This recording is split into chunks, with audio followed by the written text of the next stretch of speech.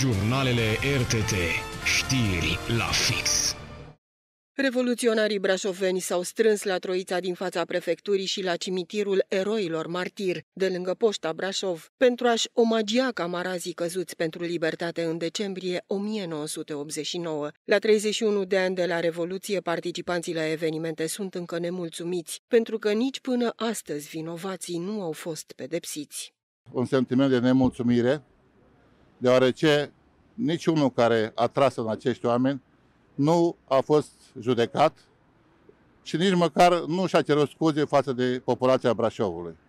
Deci noi niciodată n-am reușit, față de cei din cimitir care au murit, să rezolvăm problema cu adevărul Revoluției de la Brașov. O altă nemulțumire a președintelui Asociației Revoluționarilor este faptul că Bucureștiul contestă statutul de oraș martir al Brașovului.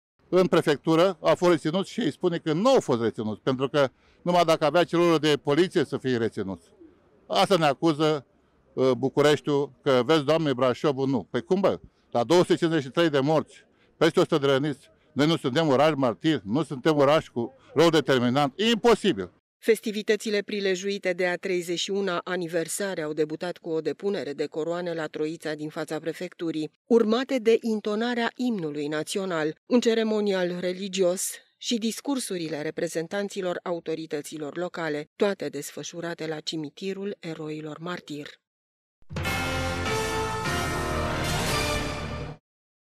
Trei maratoniști brașoveni au decis să alerge în fiecare an pentru cinstirea celor care au luptat împotriva regimului comunist în decembrie 1989. George Cojocaru, Adrian Mezdrea și Ionuț Vrânceanu aleargă în fiecare an în 22 decembrie, cu steagul folosit la Revoluția din 1989, cu o gaură în locul stemei comuniste. Acum, în cinstea lor, alergăm în fiecare, pe fiecare an câte un kilometru. 31 de ani, 31 de kilometri. Da, am plecat de la Troița din față, de la Consiliul Vețean. Acolo va fi uh, și finișul la mormintele din față. Da. Adrian Mezdrea aleargă îmbrăcat într-un tricou inscripționat cu mesajul Cursa maratonul eroilor din 1989, dedicat eroilor din 1989. Ionuț Vrânceanu este îmbrăcat cu un echipament în culorile roșu, galben și albastru, iar George Cojocaru poartă steagul care a fluturat în centrele marilor orașe din România în 22 decembrie 1989.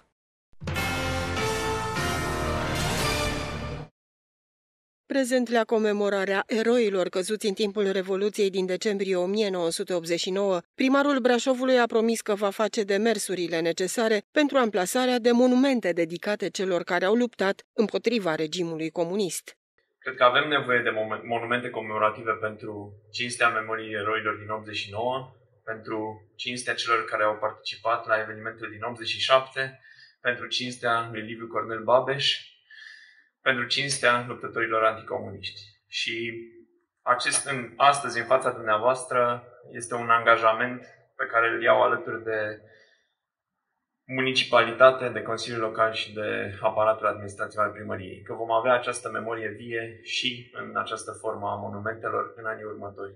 Brașovul a fost una dintre cele mai importante zone din Europa în lupta anticomunistă. Începând cu Ion Gavrilă Ogoranu și rezistența din țara Făgărașului, continuând cu studenții care au sabotat exporturile de cereale spre Uniunea Sovietică, socotite drept plată de război, cu revolta din 15 noiembrie 1987, cu sacrificiul lui Liviu Cornel Babeș și încheiând cu Revoluția din decembrie 1989, aici au existat mereu mișcări de revoltă împotriva împotriva comunismului.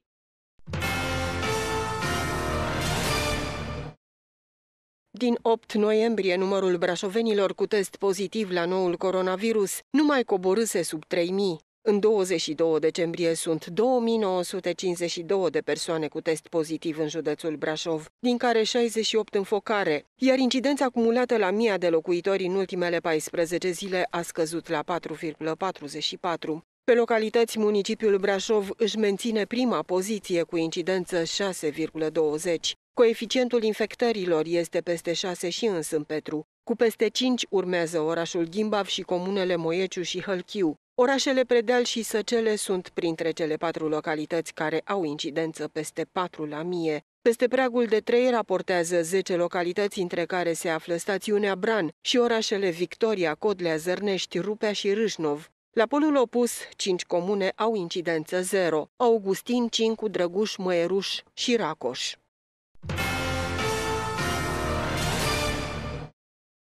Până marți 22 decembrie pe teritoriul României au fost confirmate 598.792 de cazuri de persoane infectate cu noul coronavirus, dintre care 23.977 în județul Brașov. 508.979 de pacienți au fost declarați vindecați până acum. În urma testelor efectuate la nivel național față de ultima raportare, au fost înregistrate 5.009 cazuri noi de persoane infectate cu SARS-CoV-2, iar 138 dintre acestea sunt din județul nostru. Distinct de cazurile nou confirmate, 1019 persoane au fost retestate pozitiv, dintre care 24 în județul Brașov. Până marți au decedat 14.636 de persoane diagnosticate cu infecție cu SARS-CoV-2. În intervalul 21-22 decembrie au fost raportate 155 de decese ale unor pacienți infectați cu noul coronavirus. Bolnavii, 101 bărbați și 54 de femei, erau internați în spitale din 31 de județe și din municipiul București. Șase dintre decese au fost înregistrate la categoria de vârstă 40-49 de ani, 9 decese la categoria 50-59 de ani, 37 de decese la categoria 60-69 de ani, 53 de decese la categoria 70-79 de ani și 50 de decese la persoane de peste 80 de ani. 151 dintre decesele înregistrate sunt ale unor pacienți care au prezentat comorbidități. Patru pacienți decedați nu aveau comorbidități. În unitățile sanitare de profil, numărul total de persoane internate cu COVID-19 este de 11.117. Dintre acestea, 1.252 sunt internate la ATI. Până la această dată, la nivel național au fost prelucrate 4.630.874 de teste. Dintre acestea, 23.834 au fost efectuate în ultimele 24 de ore, 16.036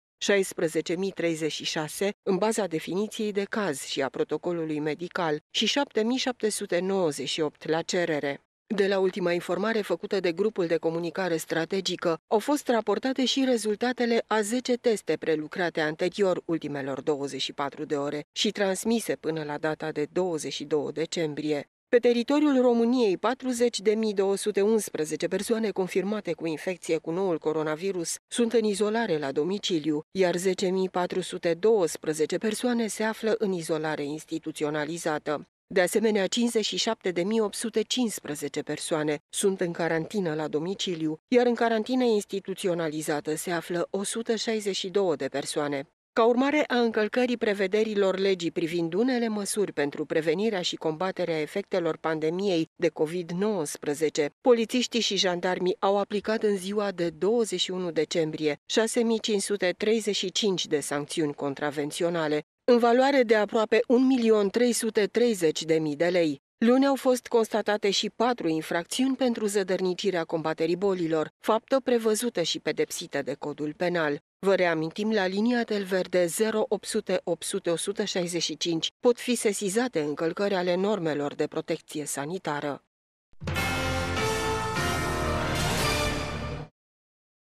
Munca de teren i-a condus pe polițiștii brașoveni de la transporturi la multe familii care se confruntă cu dificultăți. Polițiștii au ajuns la familii sărace, la familii în care sunt persoane cu dizabilități, la familii numeroase, la familii în care părinții sunt plecați la muncă în străinătate, iar copiii sunt crescuți de bunici cu posibilități financiare reduse, la bătrâni singuri și bolnavi. Polițiștii nu au rămas indiferenți la necazurile acestor familii. S-au hotărât să strângă bani și să vină în ajutorul acestor sărmani. Polițiștii au ales 15 familii cărora le-au pregătit câte un pachet consistent. În urma activităților întreprinse de cunoaștere a populației, am stabilit un număr de 15 familii, cărora le-am pregătit mai multe pachete în care dânsii au putut regăsi alimente, bunuri de uz casnic de la detergenți, săpun, to- cam tot ce ar avea nevoie pentru perioada aceasta, inclusiv uh, făină, zahăr, tot ce au nevoie de principiu ca să poată să treacă cu bine perioada sărbătorilor. Între cei la care au ajuns polițiștii cu un cadou se numără și o femeie trecută de 90 de ani, care a fost martorul cheie într-un proces de abuz sexual asupra unui minor. Femeia este singură și bolnavă, astfel că polițiștii nu o puteau ocoli. Bucuria bătrânei la vederea polițiștilor a fost foarte mare. Tare m-am bucurat, vă mulțumesc foarte mult, de inimă vă mulțumesc, de suflet vă mulțumesc. Vă dă Dumnezeu sănătate și ajutor la bunul Dumnezeu, numai ca Dumnezeu sănătoasă. Poate că nu ajung Crăciunul. Toți cei la care au ajuns agenții de la transporturi s-au bucurat foarte mult, atât pentru cadouri, cât și să îi vadă pe cei care le-au devenit între timp prieteni, pentru că polițiștii și-au făcut un obicei din oferirea de cadouri de sărbători acestor familii.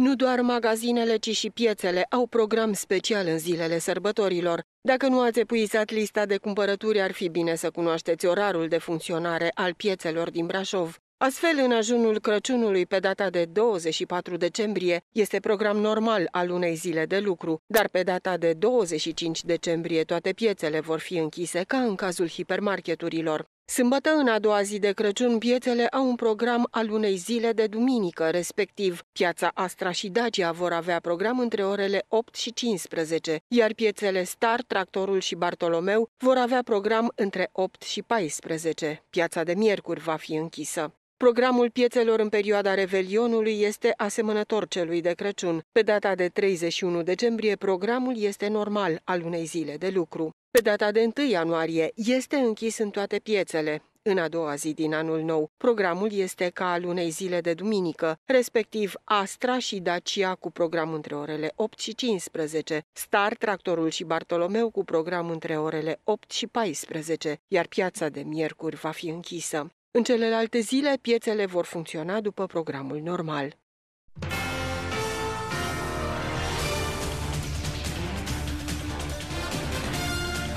Jurnalele RTT. Știri la fix.